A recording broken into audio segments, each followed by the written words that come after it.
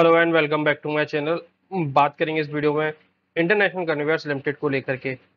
बढ़िया स्टॉक है। Last time जब वीडियो बनाया था, तब से लेकर के अब तक हम लोगों को काफ़ी अच्छे रिटर्न दे चुका है। एक महीने के आसपास हो गए रिटर्न दे हुए और थर्टी परसेंट ऑलमोस्ट रिटर्न या फिफ्टी एट की अराउंड मैंने वीडियो बनाया था और तब भी कहा था मोमेंटम काफ़ी अच्छा लग रहा है स्टॉक में।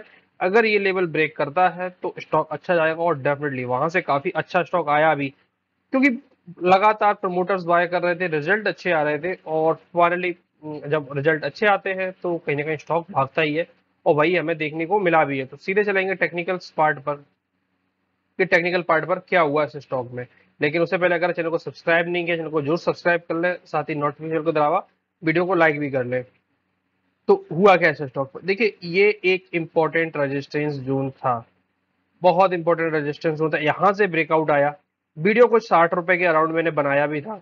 और तभी कहा था कि एक यहाँ पे रिटेस्ट करने के बाद में कुछ एक अच्छे मोमेंटम में जा सकता है। और एक बार अगर ये ब्रेकआउट में मोमेंटम आ गया सिक्सटी फोर के ऊपर निकल गया स्टॉक फिर तो भाई डेफिनेटली काफ़ी अच्छा जाना ही था। और वहाँ से इस लॉन्ग टर्म ट्रेंड लाइन का ब्रेकआउट भी लास्ट टाइम इसी रेंज पे रेजिस्टेंस किया था स्टॉक ने अराउंड सितंबर 2022 में। काफ़ी लंबे समय से स्टॉक में जब यहाँ से ब्रेकडाउन आया था। अब लग रहा है कि एक मोमेंटम अब स्टॉक में फिर से आज, आज भी अच्छा देखने को मिला। क्या हुआ क्या? वॉल्यूम्स काफ़ी अच्छे आए। और एक यहाँ पर आप देख पा रहे होंगे, कुछ मल्टीपल इनसाइड बार भी इस स्टॉक बनाता हुआ दिख रहा है। ये ट्रेंड लाइन की रजिस्ट सपोर्टिव ट्रेंड लाइन है ये। इसके नीचे स्टॉक में इस ट्रेंड लाइन के नीचे सिक्सटी सेवन रुपीज़ और ये दोनों ट्रेंड लाइन काफ़ी इंपॉर्टेंट ट्रेंड लाइन रहने वाली है इस स्टॉक के लिए। लेकिन यहाँ पर देखोगे आप तो एक इनसाइड बार का यहाँ पर ब्रेकआउट भी देखने को मिला है।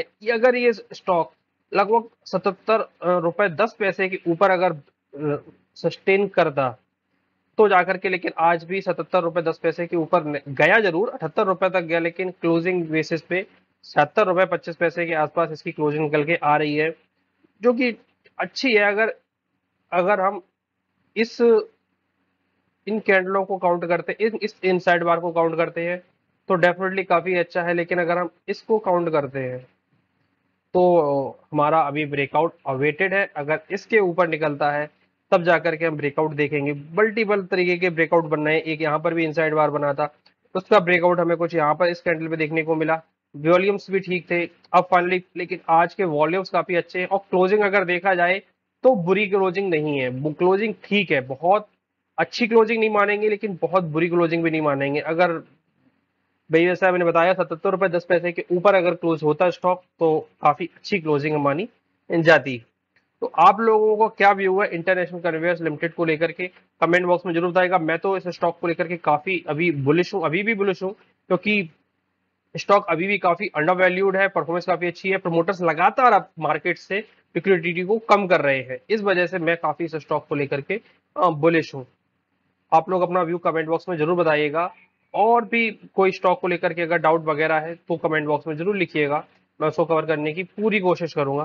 तो मिलते हैं अगले वीडियोस में। और अगर आपने इसका पूरा तरीके से फंडामेंटली अगर वीडियो नहीं देखा है कि इसमें मैंने पूरे लेवल्स के साथ में स्टेप बाय स्टेप इस स्टॉक को कवर किया है तो आई बटन पर लिंक है, उस पर आप जाकर के वीडियो देख सकते हैं। धन्यवाद। मिलते हैं अगले वीडियोज़ में।